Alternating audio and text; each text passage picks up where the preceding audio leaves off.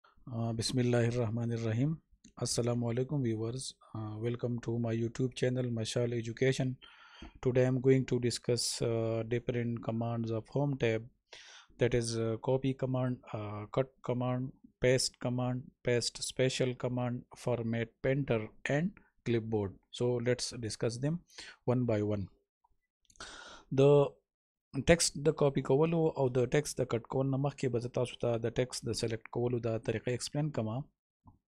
د ټیکسټ د سلیکټ کولو لپاره مونږه مختلف طریقې استعمالو یو طریقه دا ده چې کوم ټیکسټ چې مونږه سلیکټ کوو نو مونږه سمپلی هغه ټیکسټ ډبل کلیک کوو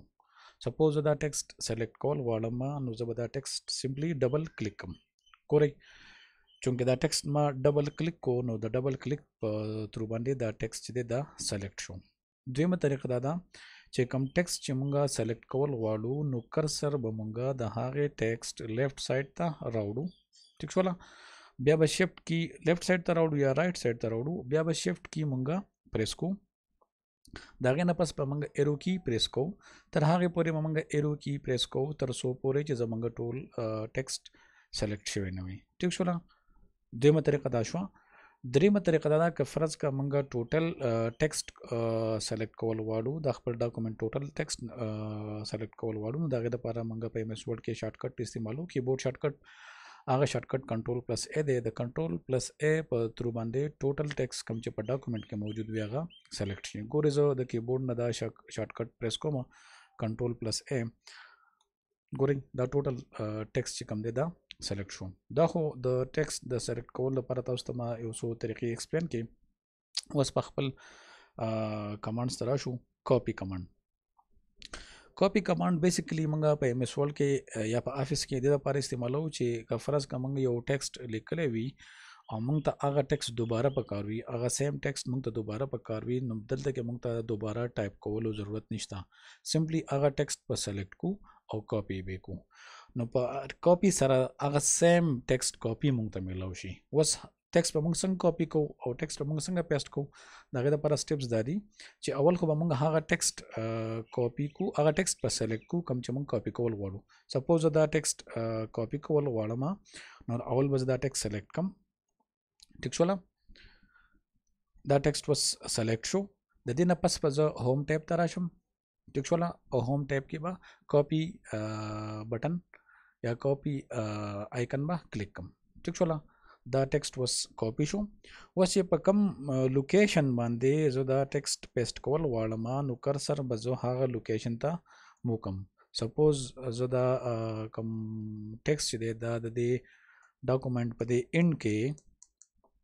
په دې لوکیشن باندې زه پیسټ کول غواړم نو کرسر ما دې لوکیشن ته مو کوم تاسو ته ګوري کرسر بلینکینګ کوي نو په دې لوکیشن بوز دا ټیکسټ چې دی دا بوز پیسټ کیږي د پیسټ لپاره طریقه دا ده چې موږ به هوم ټیب ته ورشو ټیک شو او په هوم ټیب کې به پیسټ ته راشو ګورئ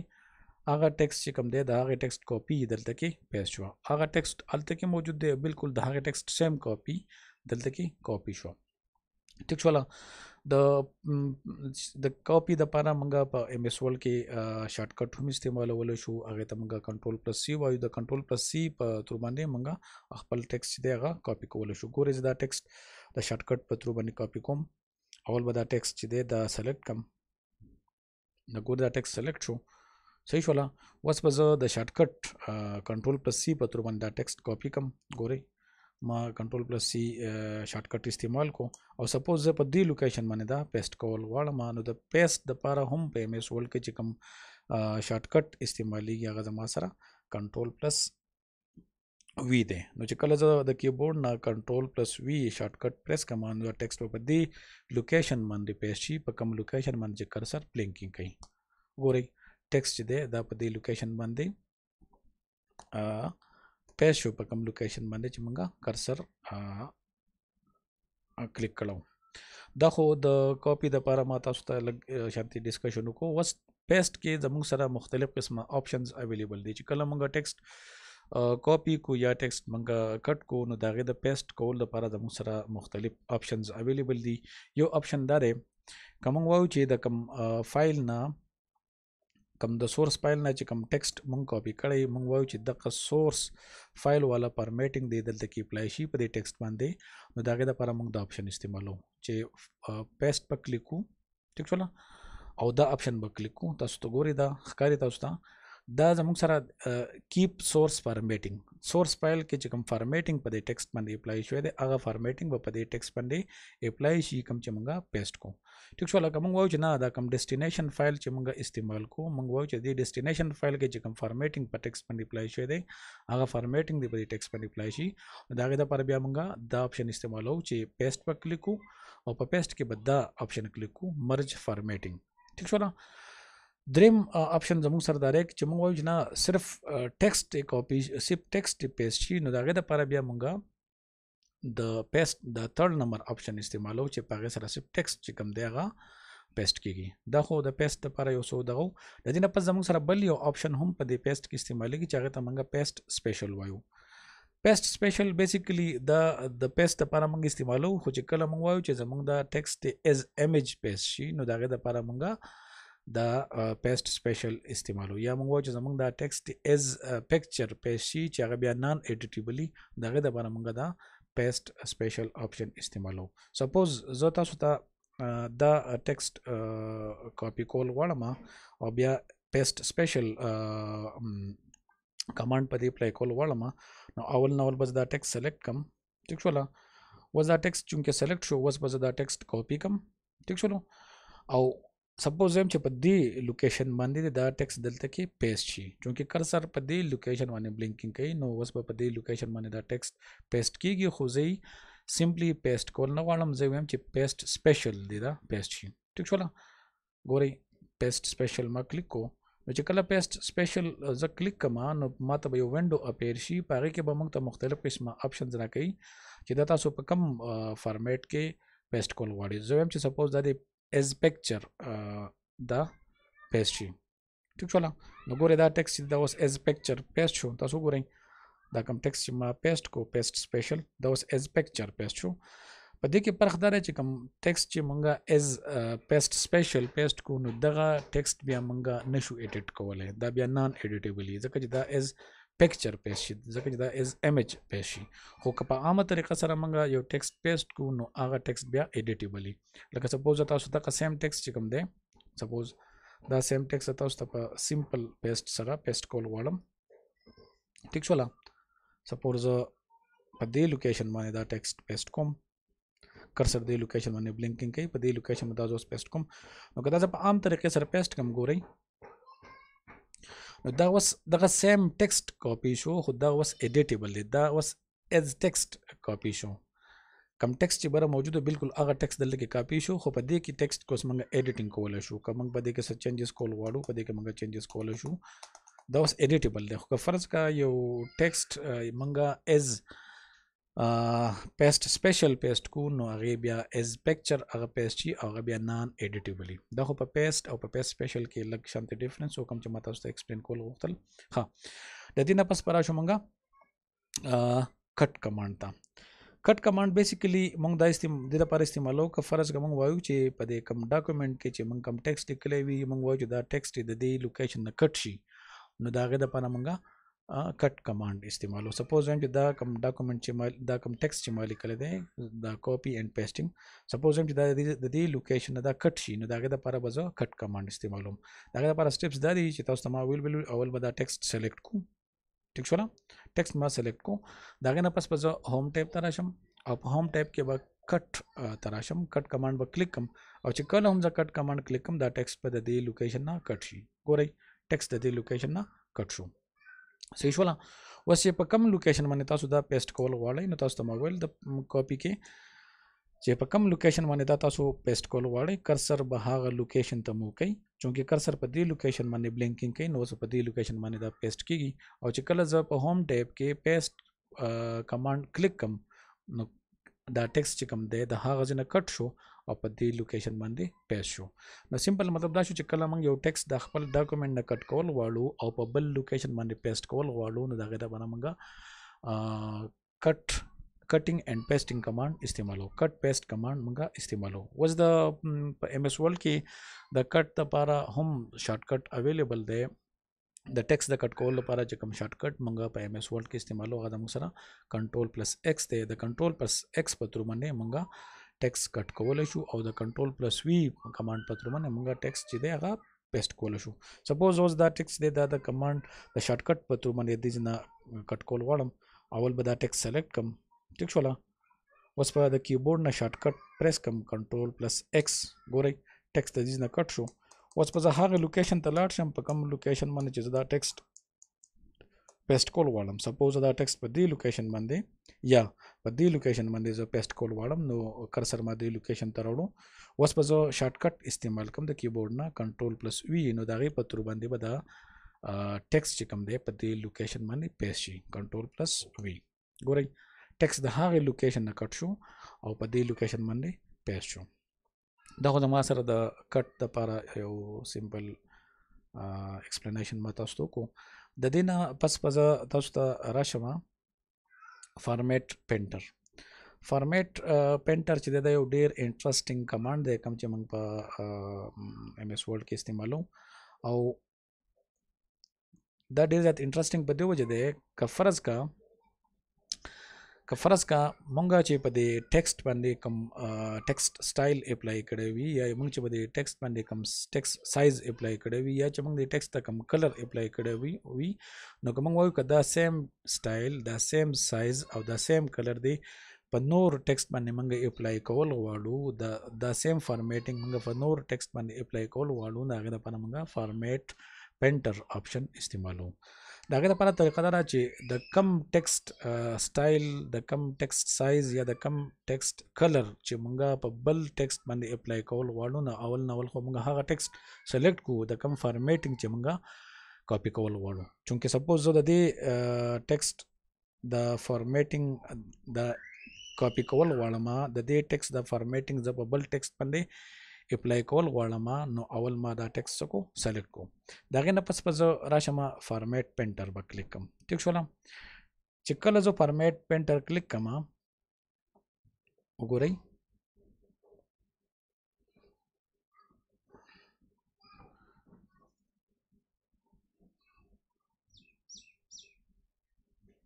ښه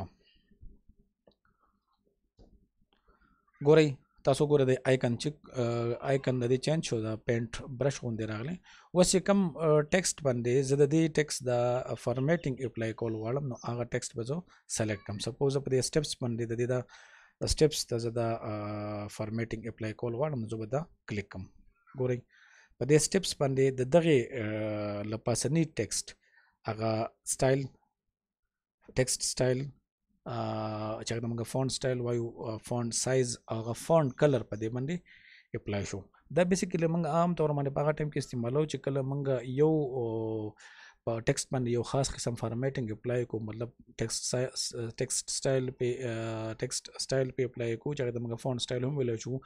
یا فونټ سایز په اپلای کو یا فونټ کلر په اپلای کو او بیا موږ واو چې دا سیم کلر دا سیم سایز او دا سیم سټایل دی په دې نور ټیکست باندې هم اپلای شي نو دا غي د پر موږ دا فارمیټ پینټر آپشن استعمالو ټیک شو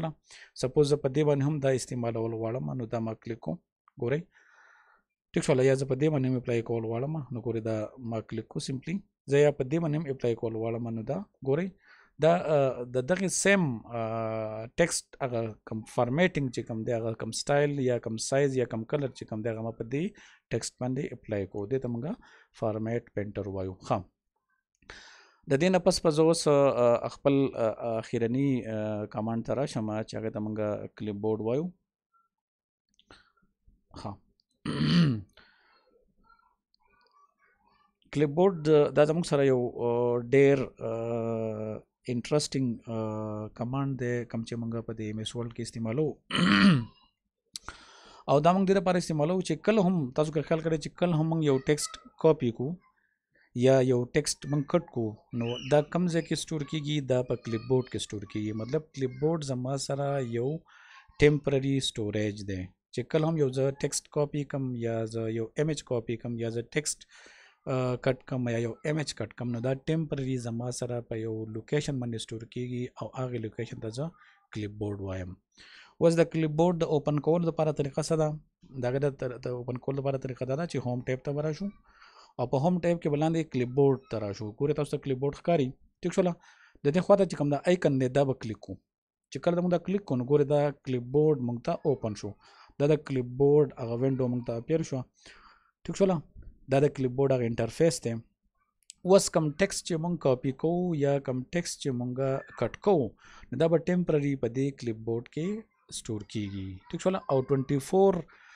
کاپینګ مونږ په دې کې کولای شو ټیک شول یا 24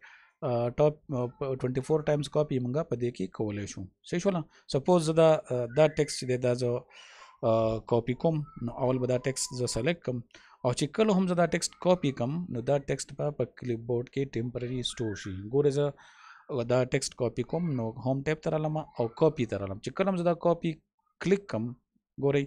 دا ټیکس چې دی دا اوس په دې کلیپ بورډ کې ټیمپرري سټور شو ټیک شوله دغه شانتي که زه وایم چې دا ټیکسټ زه د دې نه کټ کول غواړم سپوز ټیک شولا سپوز هم دا ټیکس د دې نه کټ کول غواړم نو دا به په کلیپ بورډ کې ټیمپرری سٹور کیږي ګورئ کټ ګورئ دا دلته کې په کلیپ بورډ کې ټیمپرری سٹور شو ټیک شولا و سپوز دا ټیکس د دې نه دا ټوټل لاین چې دا ز کاپی کول غواړم ټیک شول دا ټوټل پیراګراف زه کاپی کول غواړم نو دا غي د لپاره طریقه دا ده چې زه به دا ول دا پیراګراف چې دی دا زه سلیکټ کوم او چې کله دا ټیکسټ سلیکټ کوم او کاپی کمانډ زه پریس کوم دا ټوټل ټیکسټ په د دې نه کاپی شي او په کلیپ بورډ کې به ټیمپرري سور شي ګورئ دا په کلیپ بورډ کې دا اوس موږ سره څلور آیټم چې دي دا اوس په دې کلیپ بورډ کې سٹور شوی دی ټیک شو اوس دا موږ د خو کاپی شو دا په دې کلیپ بورډ کې موجود دی اوس دا موږ د خپل د ضرورت مطابق چې په کم لوکیشن باندې موږ پیسټ کوو دا موږ پیسټ کولای شو د پیسټ لپاره مختلف طریقې دي یو طریقه دا ده چې موږ ډایرکټ هوم ټیب ترا شو او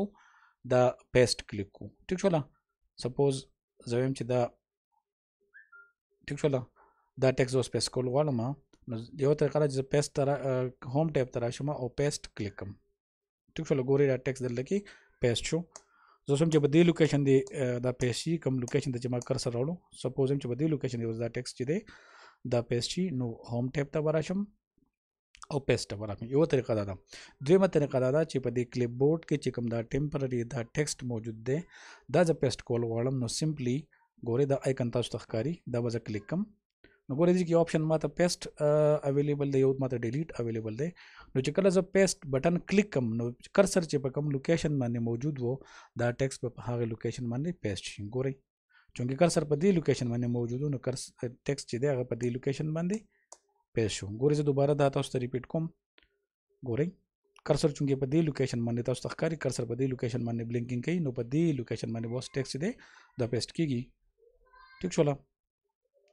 ښه